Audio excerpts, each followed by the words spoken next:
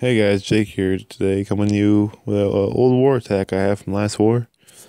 Um, sadly we didn't do too good, but uh, yeah, we got a new war coming up right now.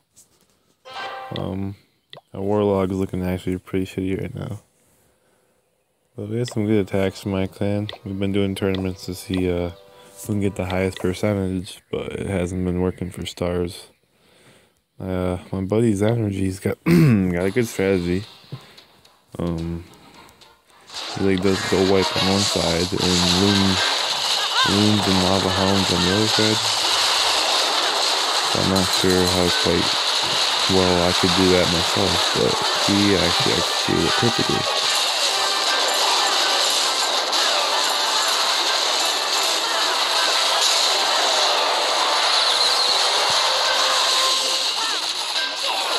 Yeah, so as you see, the king and queen are just destroying everything almost. He's got uh, got that pathway to the town hall almost all all gone. Got his rooms on the bottom half. Get some attention off that queen. Think she's gonna die or not. So got the balloons are going in, getting the defenses. Um, the max town hall 9 almost. Looks like he has to do some walls.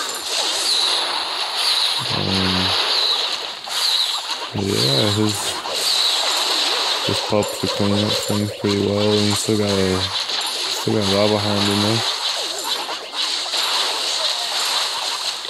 Speed up real quick to see what the outcome is.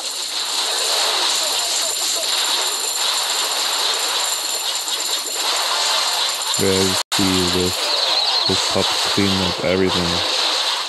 Definitely worth it for him. Yeah, that was a great attack by uh, my boy's energy. Let's go back and check out on my attacks. Uh, let's see here. Attack number three. I used the GoWiPe kept it classic. Got my jump spell in between those walls. Hopefully, I was hoping to get that third, drop some max wall breakers I got in the Clan Castle.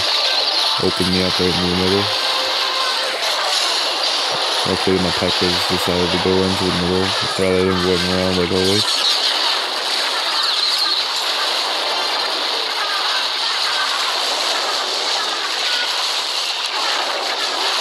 Yeah, basically they just got they got stuck in the middle for a while.